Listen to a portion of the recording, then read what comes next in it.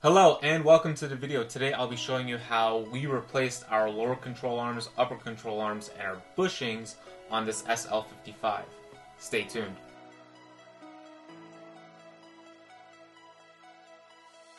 Really quickly, if you haven't already, please follow my Instagram at Mr. Affalterbach. I post there frequently and I also run polls to see what everyone thinks about future mods, future ideas for videos, and etc. Not to mention, I have a ton of sneak peeks on what's to come with the build. Again, that's at Mr. Affalterbach.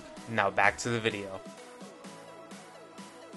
Right after Dad and I finished replacing the ABC strut, we went ahead and checked the other suspension components before we put the car down on the lift. While he was inspecting the components, he noticed that my upper ball joints and my lower control arms, their bushings and joints were starting to get worn. They weren't in bad shape, however, they were getting old and eventually we were going to have to replace them.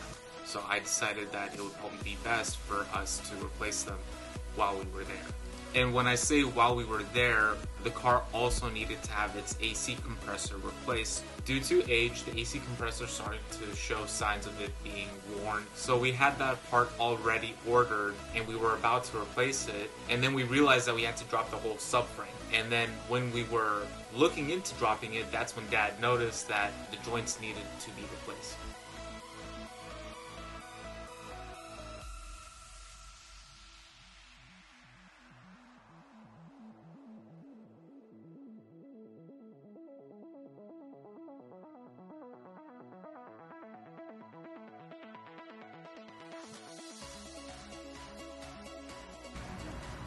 Car is up on the rack. We are going to change lower control arms, rearwards, forwards, up. These are the lower, both sides. We're gonna change the ball joints as well, both sides. To begin, first you must take off these two torsion bars. To remove the two torsion bars, you must first remove the screw that's holding them both together. Once you remove that screw, you can go ahead and start working down the arms and removing the other screws. And then we can move forward from there. Now we can go ahead and start working on the lower control arm. Now, to remove the lower control arm, this nut that we just took out, once you undo it, it should slide right out. Once that's slidden right out, you can grab your pry bar and pry it out from the lower portion as we do in the video.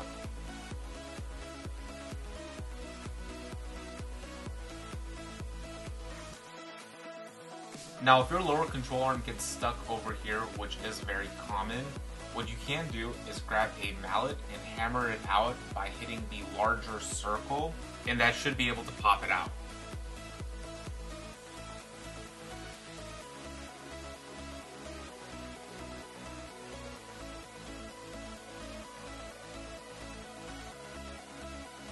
Now to remove this nut, what you can do is heat it up with a torch and then hammer it out from the bottom and that should be able to pop it out.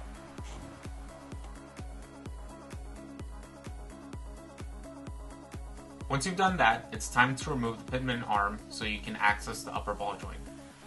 And able to do that, you first remove the three nuts to replace the upper ball joint. Once you've done that, grab two mallets and hit both sides of the pitman arm with a hammer simultaneously until it pops out. Also, lower ball joints changed. These are the old ones, all torn down. To replace the lower ball joint, what you can do is hit it from the bottom out with a hammer, and then that should be able to pop it out. If you don't want to do it on the car, you can remove the piece and put it on a table and do it that way. Now that basically everything is removed, all your joints and control arms, it's time to replace them with the new parts. And able to replace them, follow the same instructions as removing them. If you hammered something out, hammer it back in and torque them to spec.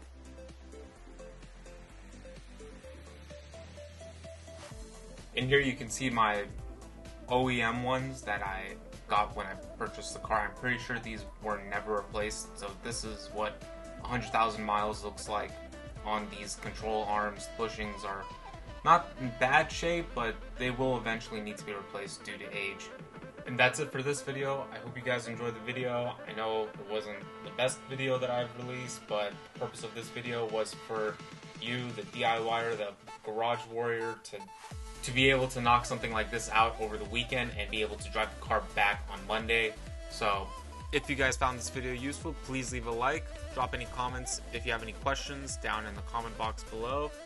Subscribe if you haven't already and follow my Instagram at Mr. Affalterbach. In my next video, we'll be replacing the AC compressor and the motor mounts. I have a lot more footage and in-depth videos because I was actually present when we were replacing that part. And before I leave you guys, uh, if you haven't already, please follow my Instagram at Mr. Affalterbach. I have something really big coming up for this SL, and I'm pretty sure you are all gonna love it. So I'll see you in the next one.